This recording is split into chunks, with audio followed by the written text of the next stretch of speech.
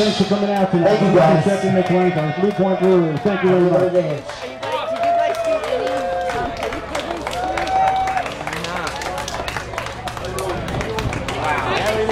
Hello.